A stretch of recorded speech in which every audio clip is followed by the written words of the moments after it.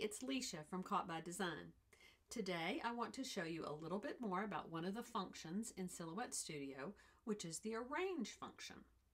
So Arrange lets you determine what order your elements are going to be on a page. So if you're looking at something like this, think of it as a stack that you're looking over the top of. So here we have a green rectangle, a blue square, and a yellow oval.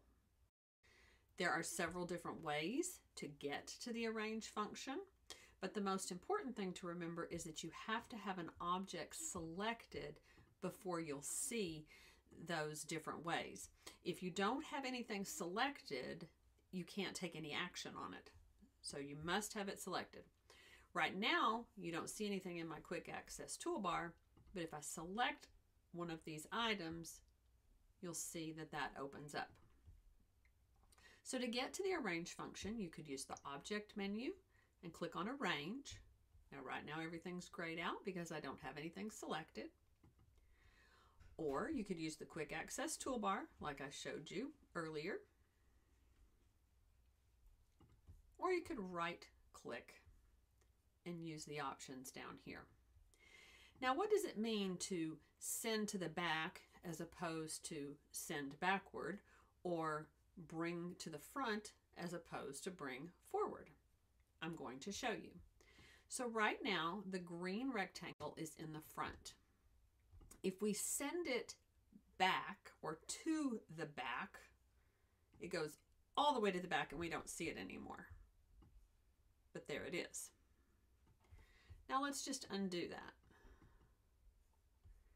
Now if we send it backward, it only goes one step. And see, now it's in between the blue square and the yellow oval. We could send it back another step, and now it'll be at the very back. Depending on how many different um, elements you had in your stack, you could go back, you know, one particular layer at a time. And when I say layer, I mean the layer that you see here on the screen.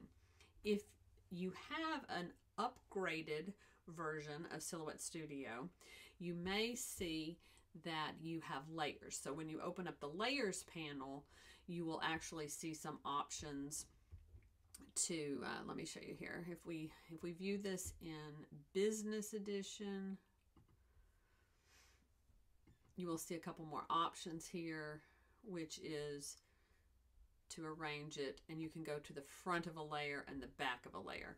That is in the actual layers panel in Silhouette Studio and that's only available in upgraded versions. So I hope this short tutorial has helped you know a little bit more about what the uh, arrange function does and that it will help you in your designing. Thanks for watching.